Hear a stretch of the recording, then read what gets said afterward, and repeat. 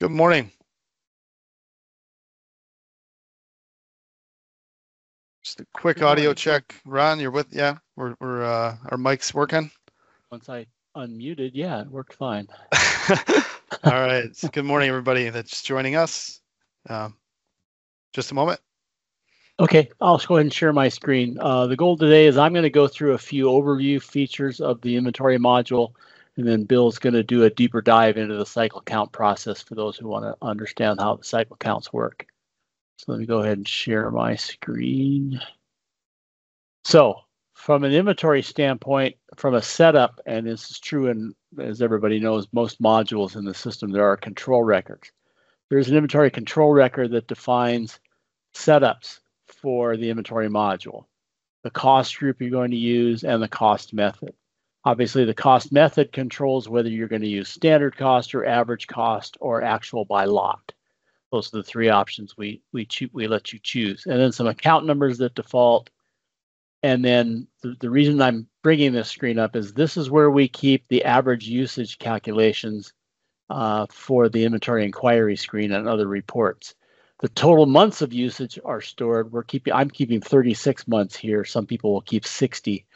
Uh, and then here is where you put in what your average cost is going or average usage is going to be calculated on. So it's going to be the last six months of usage. Uh, some people will use six, some people will use 12. Most people don't go beyond 12 because once you get beyond 12 months of usage, it, it gets skewed by history or activity. Uh, so we're trying to keep it recent activity to calculate your average usage. And then lastly, from a days of transaction history, in the IMV.Q screen, how many days of transaction history do you want to see on the screen? This isn't how many days do you want to keep in the IT file. The IT file will keep as many years of history as you want to keep. But how many do you want to see in the IMV.Q? If you're trying to keep that short and sweet, you might make this one to two years. If you want to make it longer, that's fine, but this is adjustable as you're bringing up IMV.Q. It'll come to this screen and make this decision.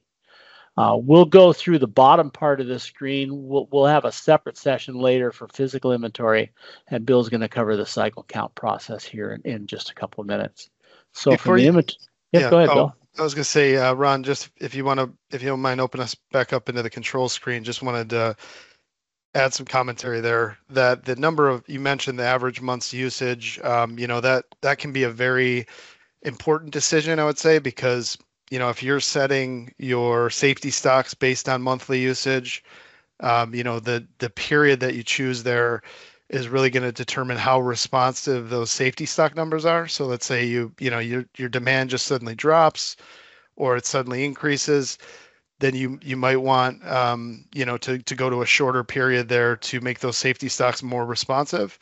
And alternatively, if you are in a you know kind of seasonal regularly seasonable or seasonal cycle, you might want to you know kind of hang tight, use a longer period so that you don't get uh, you know you just kind of don't don't go with the too much with the flow when when those times happen. So just uh, a good point there on average month. So uh, go ahead, Ron. Just No, thank you. And just to point all the way back to the, the planning quantities in part study, that's what Bill's referring to. I think we're all aware of things like safety stock.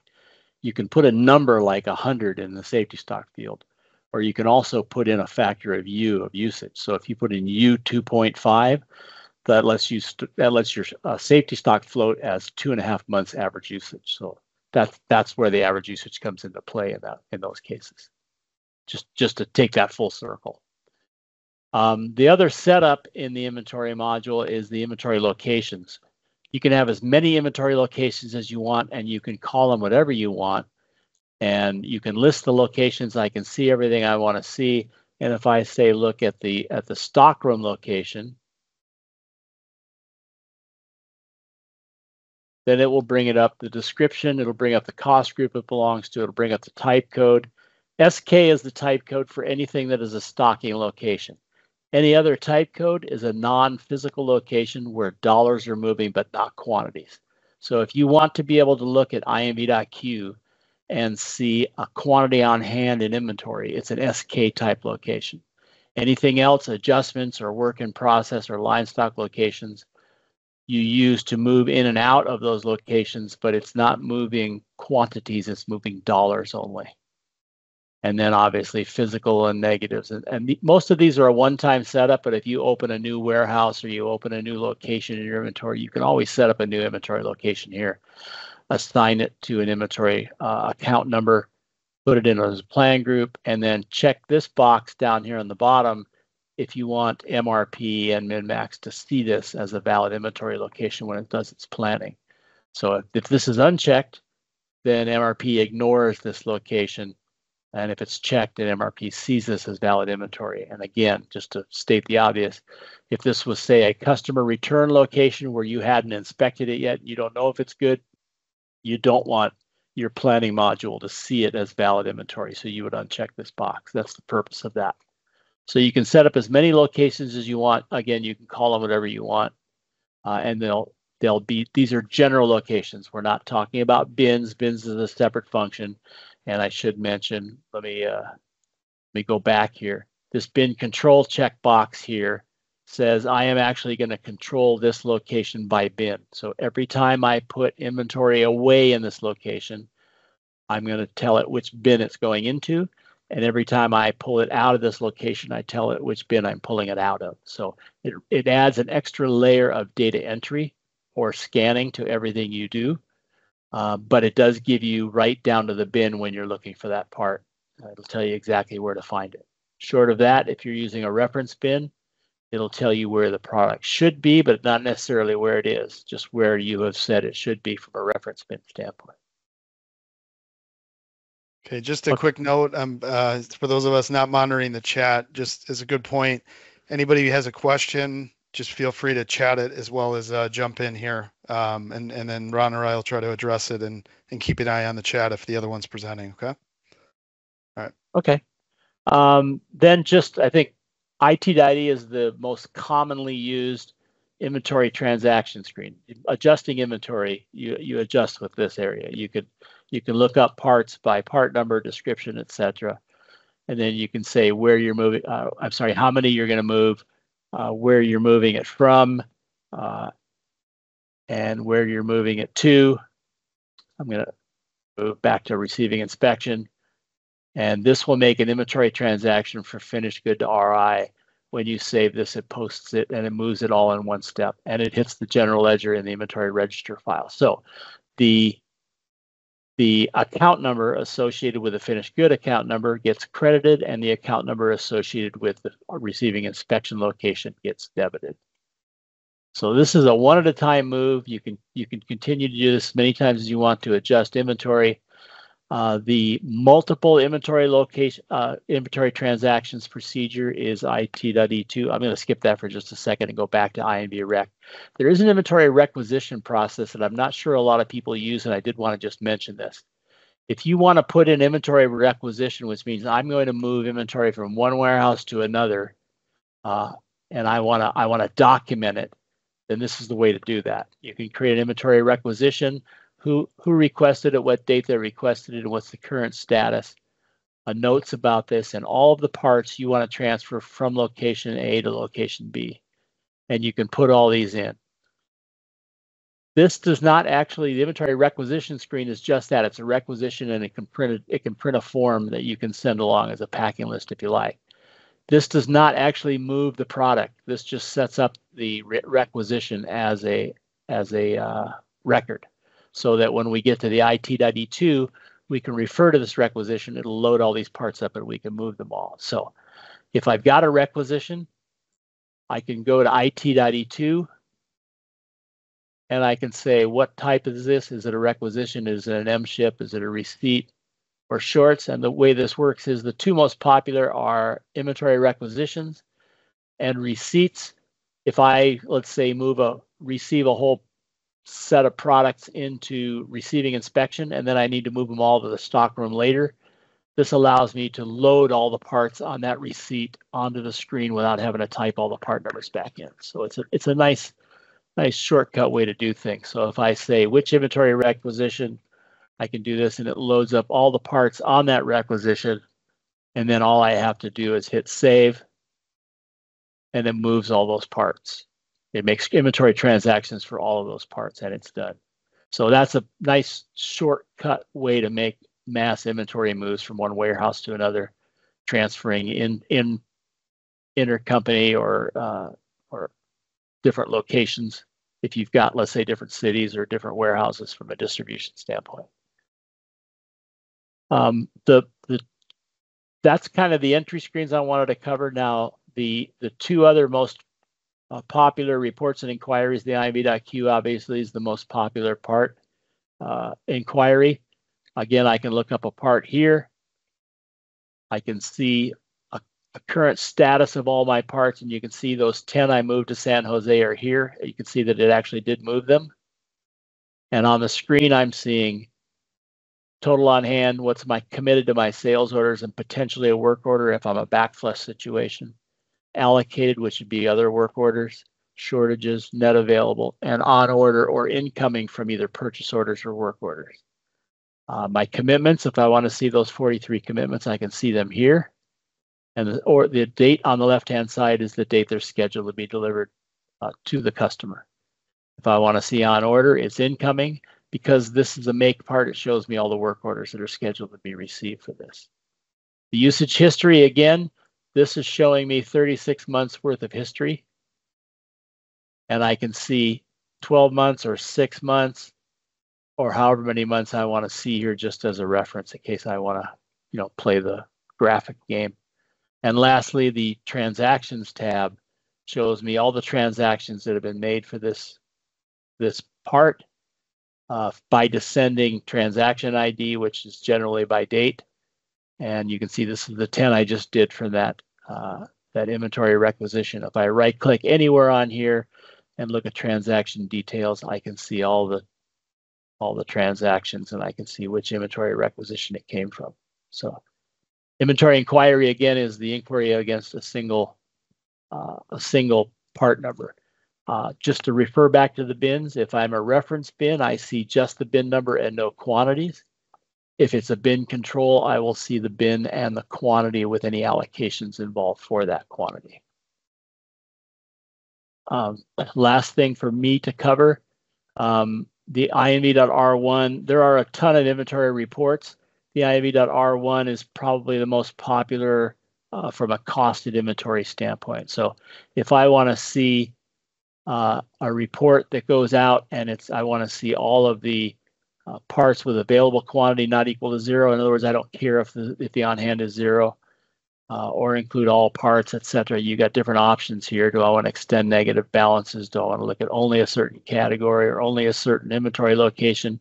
Or if I just look at everything that's on hand in inventory, I can run this process, goes off, gives me 29 pages. And like this one part we just did, we can see I've got 29 parts at $59 for $1,593.38. So this report here sorts by category. So all the blank categories go first, then the then by category numeric and alpha, obviously.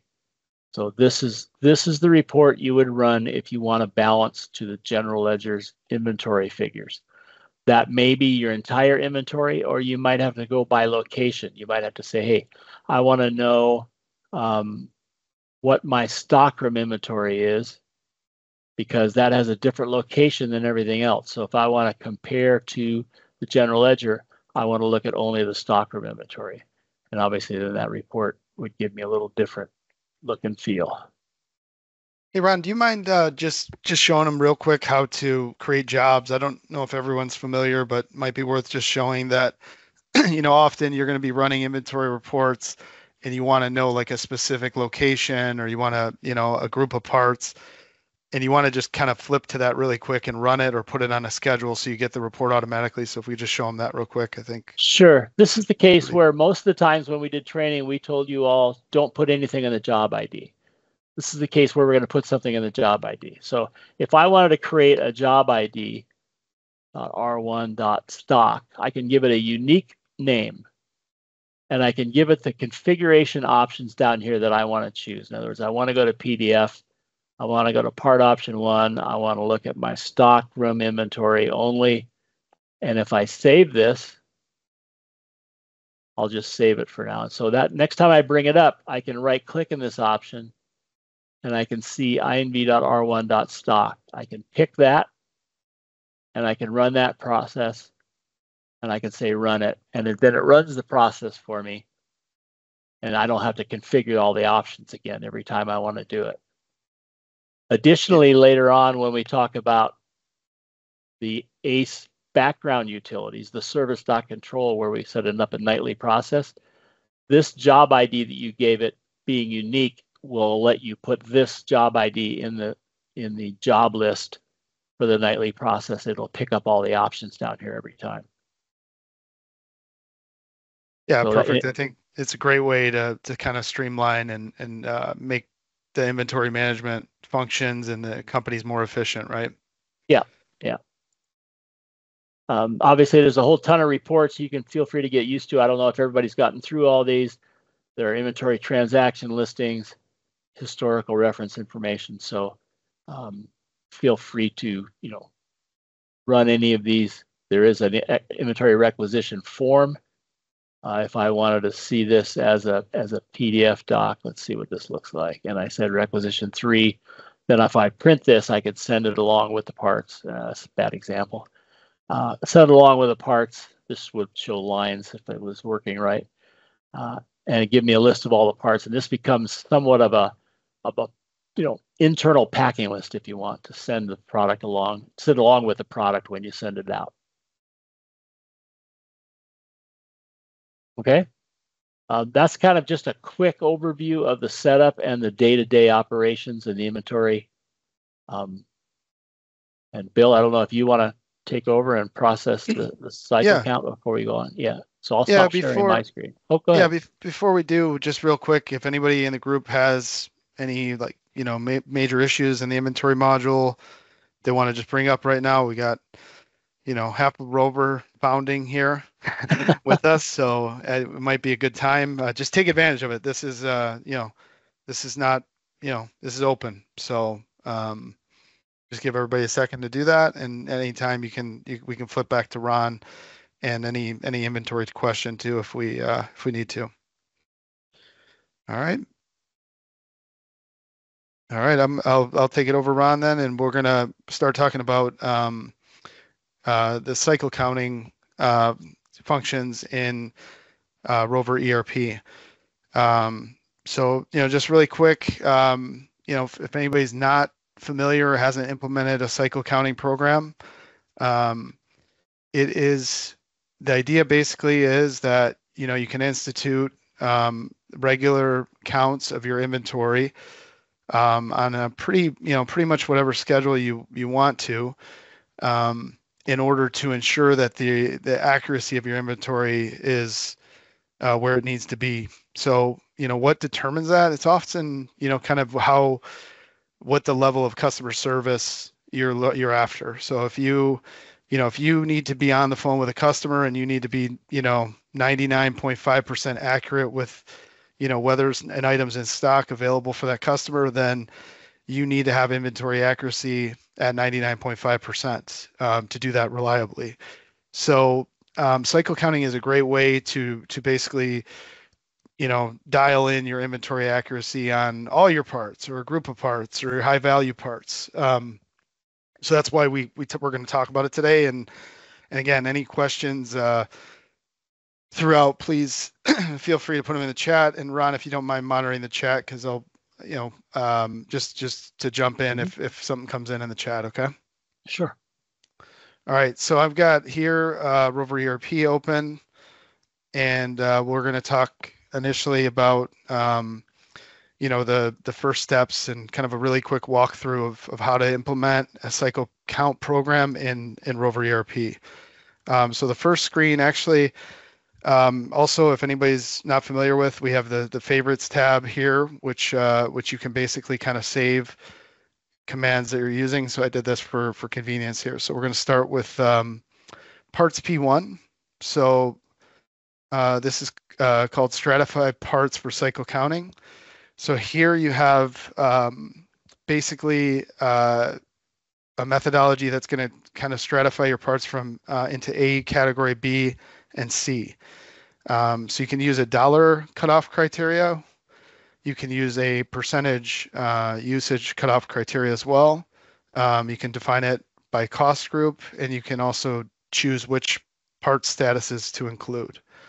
So here, let's say we're going to um, start a job. So we're going to go with new.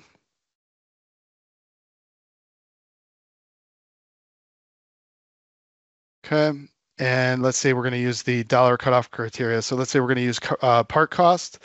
Uh, pretty cool feature here is uh, you can also use part cost times the average usage. So that's really kind of a way, again, going back to our usage uh, conversation and inventory control. Now you can kind of determine your ABCs based on recent usage and and you're so you're hitting those uh, those parts that have been used more, that you've been buying more, more frequently uh, in terms of your counts.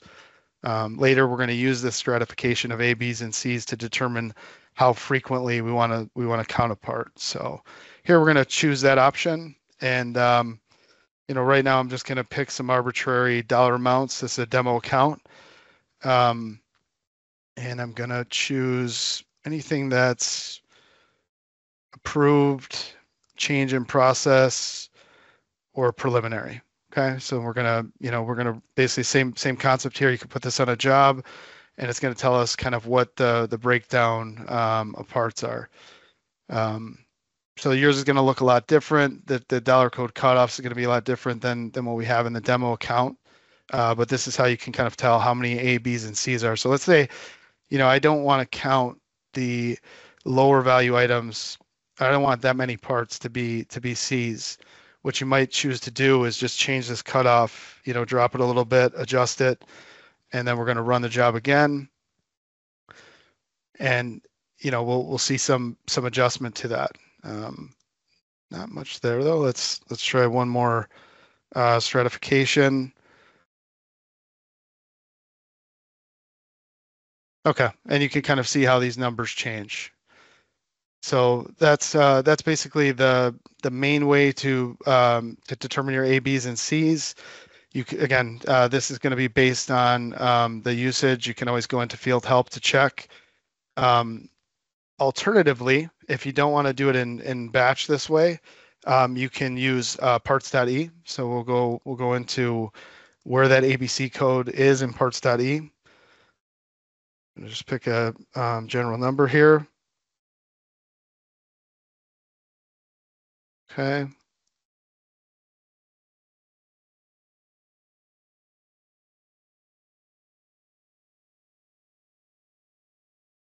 All right, and then the uh, ABC code is going to be over in the material control tab, and you'll just see it kind of right here where where it um, tells you what the ABC code is. So you can actually, you know, manually update this on a part, um, and then um, alternatively, you can use a uh, part change.e for a mass part change. So if anybody's not familiar, this is a screen that most, a lot of um, our customers are, are that are heavy users uh, will use this to to maintain uh, data for like an, uh, a large batch of parts. You can, you know, specify a file path here in the base, or you can add a customization and just, you know, browse and use an Excel file or something to upload what part numbers you want to change. And then here you would just go to the material control change tab and then um, enter the ABC code, and then that that field will be updated on on all parts that were uh, selected. So if we jump further, anybody have any questions on this? Ron, did I did I do it justice so far? Yep, everything looks good so far. All right. Okay, uh, we're going to go back into that um, that inventory control screen that Ron uh, showed us earlier. And here we're going to focus uh, specifically on the, the cycle counting um, section here.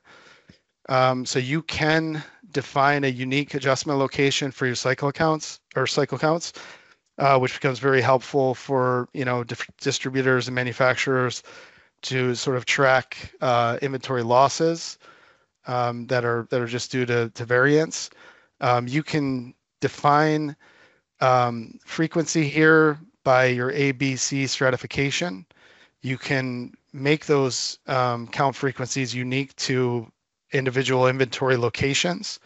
So you might have one location, let's say finished goods or stock that that you want to count, you know, more frequently because it's it's more important to your customer service and you have another location that's lower value screws or something like that you might you might want to have different um, different frequencies there as well as within those locations you can exclude certain categories uh, from those okay and then here you just have something to indicate if if a cycle count is in process so that um, uh, we, we don't want to be making changes or uh, while, while that's happening so um, this is basically a, a, core. This is how you kind of set up the uh, the nuts you know, or set up the parameters for uh, for the frequency of the cycle counts. Okay. Um, after that, we're going to go into uh, IMV.P1, which is going to be uh, assignment of cycle dates. So here, um, let's do Okay, we're going to just uh, make a job here and then we're going to enter day for today. Uh, let's say inventory only, plan group one, and we are going to assign um, cycle dates based on that stratification um, that we just did of ABCs. So I see it's it ran through uh, 689 parts. Um, and now we have we have uh, basically put on every part um, what date that part is going to be scheduled for cycle counting. Okay. So now we're going to uh, go over if we want to take a look, uh, a useful report. Uh, here we have IMV.R3 if we want to um, see what that's what that schedule looks like. Um, so here I have a job saved here and it, it's going to be on the stock location. Okay, and then this is in the, um, just the kind of preview view and this kind of you can see you know on, on each day how many a parts are going to be counted how many b parts c parts um, you know for that particular location um, the reason for that is that this again that's going to be an iterative process you might run that and say i'm counting 150 parts a day and that's too many so you you can either change your abc stratification or you can change your days in the IMV.control and then rerun that until you get it to a comfortable number of parts. Absolutely, yeah. It's a it's a really good point to to sort of maintain that that you're you're using that to uh, to give you feedback on how how you set up the parameters in IMV.control um, or parts that um, E1 and then and then kind of dialing it into where you want because you might have depending on the number of resources you have allocated to do cycle counting, it, it could vary how many counts you want to be doing per day, right? So great, great point, Ron. Um, okay. One, one, uh, one, quick note. I'm sorry, Corey was just no, letting me know that all the attendees are muted and don't have the ability to enable their microphone. When when we're done with the presentation, Corey will figure a way to open that up so we can all uh, so people can use their microphone. For now, if you have to, if you're trying to get us, go ahead and send us a chat. Sorry. Nope, no, that's a very, uh, very important. Uh, In case point. anybody's talking and, and want to know why we're not listening. yeah, it's a good apologies. PSA, Ron. yeah. okay, um, so we've got our parameters set up. We've got the distribution accounts looking the way we want it. Now we're going to go into cycle P1, and we are going to just create the um, cycle count records. Um, so here I just have a, a job set up um, you know, similar. We're going to just basically run it, um, you know, choose our locations that we want to run this. Can uh, optionally exclude parts with no on hand. Bin numbers can be specified here. Um, and then basically this is uh, telling us, okay, we, we made five cycle records, um, you know, for, for today um, based on this, okay? Uh, so Next, we have um, cycle.r1, which is basically going to tell us what is our what are our cycle counts to do today. Um, so here we have uh, stock location as well. So here's an important one um, as well. You know, you can check in at any point on the cycle date of what, you know, did anything get counted? Is it, are they all in status new? Are they counted? Are they voided? Um, but essentially this is going to tell us, uh, you know, basically what our um, what our cycle tags are, what parts supposed to be counted, and this should be used and can be used. Uh, you run it to Excel and we'll do that here uh, as a count sheet as well, if you like. Um, best practice maybe to uh, delete, depends on, on uh, personnel, but if you want to kind of really create a blind cycle count, um, then you then you can basically, uh, you know, well, actually this this this one's perfect for it actually because it doesn't list the uh, the current inventory in that location. So this Bill, is really a, there's an option when you run the report to show the quantity or not. You're talking about blind. Oh, there it is. That, there you go. That yep. print quantity. If you check that, it'll show the on-hand quantity, but most people don't want people to know what they're counting. There you go. Um, so it could be used, Ron, to that point. Uh, you know, basically it's flexible in either way. It could be used as a count sheet that's blind, or it could be used as a, a count sheet with what the quantity in the system is. Um, so this is really a good way for somebody to print this out. It's got spacing set up so that it's kind of meant to, you know, put on a clipboard or something and go out and, and do your counts, uh, record them, uh, and then you're going to, you know, come into the system uh, later and enter them. So uh, I'm going to jump over right to that screen, which is um, cycle.e. And this is where you um, are going to enter your count information. So we're going to pick a, a tag and we're going to specify, you know, quantity counted, date, and we can initial it uh, for later traceability of, of who uh, entered the count. Okay, and that's just uh, that, that's something you can multi you can do, you know, all your tags in one screen. You can do it tag by tag if if uh, they're they're done at different um, times. Now, Ron, important point is that the basically when we post this, it's going to post. Um, when when is it? Is it the start of the day or is it the end of the day for the for that inventory location? It can be any time during the day. Generally, once you you do your cycle count in the morning, then you enter your cycle counts addition also in the morning. Run your comparison report and everything looks fine. You can post it at any time, generally in the morning to get it out of the way. Okay. The adjustment okay. to inventory oh. is going to be the difference between the quantity you counted and the quantity you started with when you printed the tag, printed the uh, ran cycle.p1, created the Perfect. tag. Yeah. Perfect.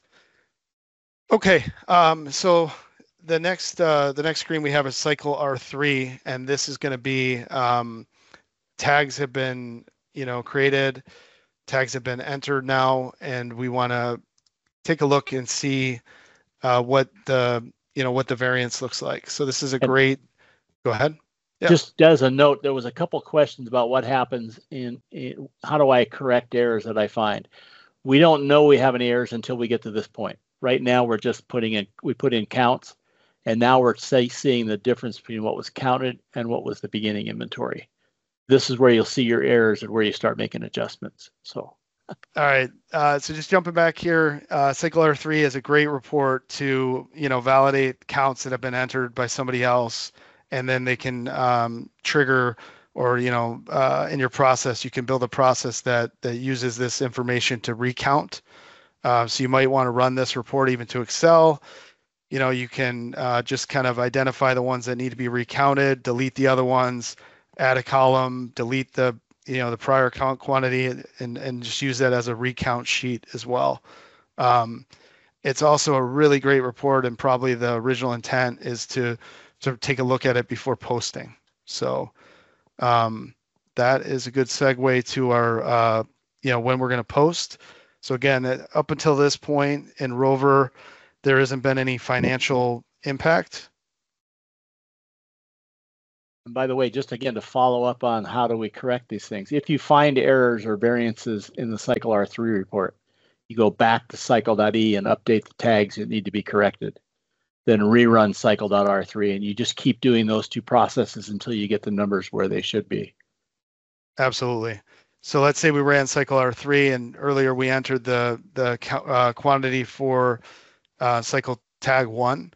We would just go back into cycle cycle.e since it hasn't posted yet we can still edit it and we could update the quantity if we recounted it. Okay. Yeah and, and by the way the the intent in this screen is to sort by it's going to enter by tag number so if you put in your starting tag number that you're going to enter for, the next tag number will come up on each line and you don't have to enter the part number or anything. All you do is enter the quantity on each on each field. Excellent. And, and even the date and the initials will stay from the previous one until you change it. Okay.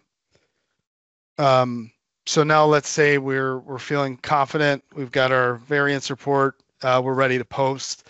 Uh, cycle.p2 is for uh, posting the tags to inventory. Um, so here we would, you know, just enter the cycle date, um, register date, and plan group again, and we can run this process. And this is going to alert us that we have, you know, 15 uncounted cycle tags on this date. Um, Basically, so, you can't post a cycle count until so, all tags are accounted for. Yep. So we need to. This is where we could we could go back and um, basically we're gonna clear out um, cycle tags that maybe haven't been counted, or we're going to make sure that they get entered properly, right? That they that they're counted right. since they're scheduled to be counted. So, um,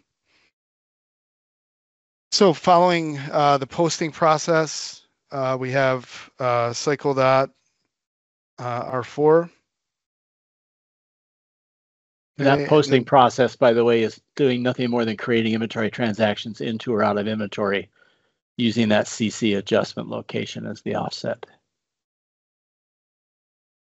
Okay. And then this is, uh, you know, again, we wanted to, we want to see what, um, you know, what cycle tags are out there that haven't been posted yet. Uh, we can see we've got one, you know, one here counted, but we've got, um, you know, 15 that are that are still pending. So, um, in this case, um, you know, again, the the we would go back, we would enter the counts, and then and then run the process to uh, to post. So it's just a way to um, after you know maintain and then and then go back to the previous uh, process. And when that once that's completed, everything's ready. Then you run the posting again, and then this report cycle R4 would come up, you know, uh, with with just showing you every tag and and the status of whether it was counted or not. Okay, a couple chats we got from Sammy. Thanks. Follow up question Is cycle.e only to show variance in the count versus system, or does it do any posting to the GL inventory balance? cycle.e only updates the count in the cycle record. The cycle posting process after the variance reports is where it updates the GL inventory balance. And that was cycle dot oh, P whatever it was. Sorry. Cycle P2. No. Yeah, and, yeah, and it's got the register date in there, and that's the date the inventory registers will hit. The IT record will hit based on the cycle count date. The register date is the GL is the GL date. And the second question was how do we account for sales activity while we do the counts? You can go ahead and continue to process inventory on anything being cycle counted. When the cycle tag was created, it locked in the beginning count. And then uh, it'll it'll the variance you're going to put in is your your count versus the starting count. Now, where the the where the issue comes in is if if you got a high moving part that you're cycle counting, you need to put a note or a sticker or some kind of a label on that part to say I am cycle counting these so people won't grab them during the sales cycle. If they pull them out, you need to know about it and you need to adjust that in your count. Hopefully you're counting these before you get they get moved for sales and that's why you do all this in the morning before people get started.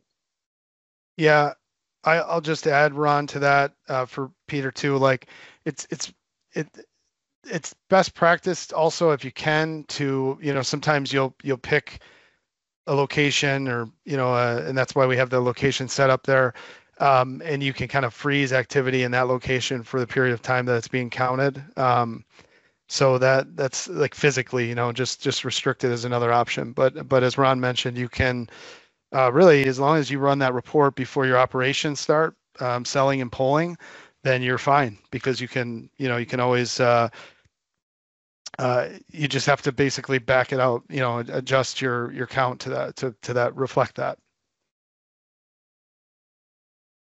All right. Um, so we we left off on uh, cycle. Actually, real quick, uh, you know, Peter, Sammy, let us know, please follow up if uh, if we didn't, you know, do a good job answering the difference there too. Uh, happy to happy to go deeper. Um, okay, uh, just a couple more screens that are pretty useful and fundamental uh, to the um, to the process cleaning up. So if you, let's say you just couldn't do a count, you know, you have the option here to, with cycle.p3 to cancel a count entirely for the day. Uh, here we just enter the cycle date. uh, location. You could you could specify a location here and just uh, cancel the count for those items. And then cycle.p5 is a useful um, tool as well to um, to delete just a range of uh, of tags. So in this case, you know, let's say, you know, tag one to eight didn't get counted. We can just enter starting tag one, starting to any tag eight on that cycle date, and then we're going to delete those those tags. So um, that's cycle P5, and uh, I think that that pretty much um, you know covers it for cycle counting. And just to to echo in the chat, uh, Corey, you know, appreciate the questions, and and if anybody has any uh, you know any other uh, questions or or is experiencing any challenges with inventory or cycle counting, please uh, you know feel free before we before we close here. Ron, do you have anything else to add? No, I think that's a pretty good overview. Uh, again, the the cycle count process for the setup with the ABC stratification and the assignment of dates is not a is not necessarily get it right the first time kind of a shot. You know, you're going to run that multiple times until you get the numbers where you want them to be, and, and then cycle count will will roll forward as as you do them. As you post cycle t- dates counts, excuse me, and as you cancel cycle counts, it'll roll those to the next available count date. So it just rolls them automatically. You don't have to re-stratify or reassign the dates. Some people still reassign them maybe on an annual basis. They start over, but it's up to you. Great point. And Sammy, uh, Ron has a follow-up here. Cycle.p2, would that post and cycle P3 would reverse the postings of P2 if the journal was incorrect? No, once you do cycle.p2, you've posted them and cycle P3 won't do anything. Cycle P3 is something you have to do if you've got a whole bunch of unposted tags that you just don't want to count. You can delete them before you post them. Once you post a cycle count, and it will again, it won't let you post it until everything's been counted or voided. Once you until you do that, you can't run cycle.p2. So cycle.p3 actually came along after cycle.p2, but it is a precursor to p2 because it you would run it before you post. Yeah, and and just kind of a if that happens, Ron, let's say we do a count, we follow the process, we had somebody checking it, but we still have a a bad count, and it was uh, it's found later that you know we forget we missed a box or something. Um, will we just use journal entry in that case, or another do another inventory transaction to to correct that, or is there another yeah. mechanism? Okay. I would I would do a manual inventory transaction. Probably not a journal entry because at that point your GL is not going to match your inventory. There you go. So, so I would do an IT.E or IT.E2 if there's more than one, uh, and just make the adjustment of the quantities.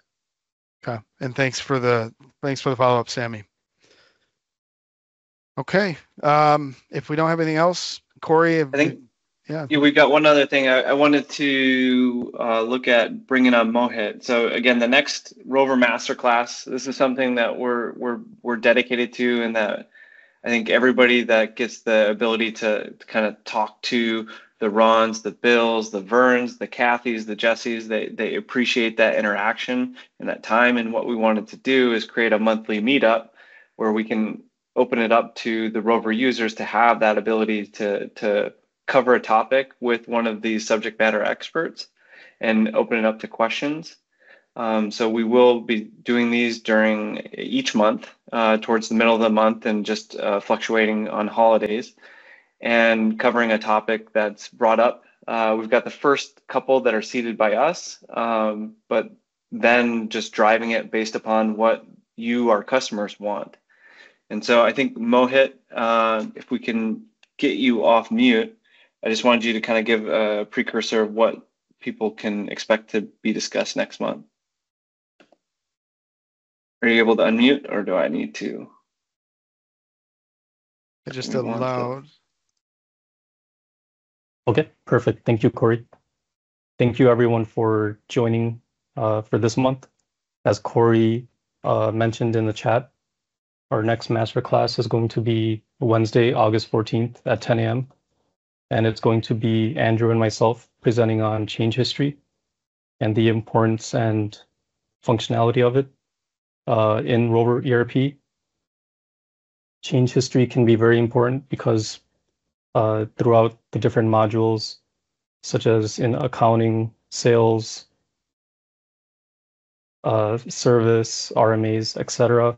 It provides tracking within the ERP to see when changes were made, and you can get information such as timestamps, the user ID, what the change was, and users can also add notes. So this helps with um, just information so that the next person that's looking at a record knows exactly what was done, why it was done, and it's just a, a nice way to communicate within the ERP itself. I, I should also I'd also like to mention Mohit that for those customers who've been around a while and used the older change history, there is a newer version of the change history that's more genericized and, and more a more general approach and a different location to find it. So it is worth fitting in on this class because there's there's change history has been enhanced quite a bit. Absolutely. All right, thank you. Perfect. All right. Thanks, Bill. Thanks, Ron. Thanks, everyone. Appreciate it. Thank you. Take care, Thank everyone. you, everybody. Be well. Thank you.